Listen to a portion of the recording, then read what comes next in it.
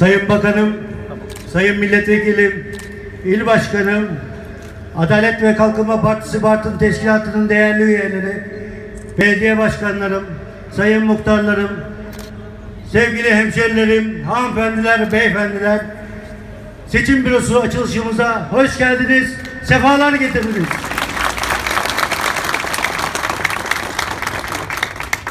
Ben öncelikli olarak Sayın Bakanımıza Şirin ilimizi ziyaretlerinden dolayı teşekkür ediyorum.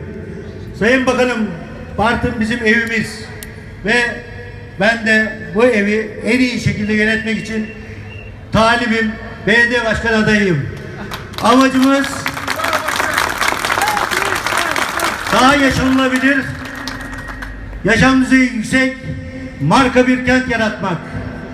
Bu süreçte önce 31 Mart- Mart'ta beni destekleyecek tüm hemşehrilerime teşekkür ediyorum. Daha sonra da onlarla beraber Bartın'ı daha yaşanılabilir, daha müreffeh bir şehir yapmak en büyük hedefimiz. Ben bugün sözlerimi fazla uzatmadan ilimize teşrif eden bakanımıza tekrar hoş geldiniz diyorum. Ve konuşmalarıma burada son verirken hepinize saygılar, sevgiler sunuyorum. Sağ olun, var olun.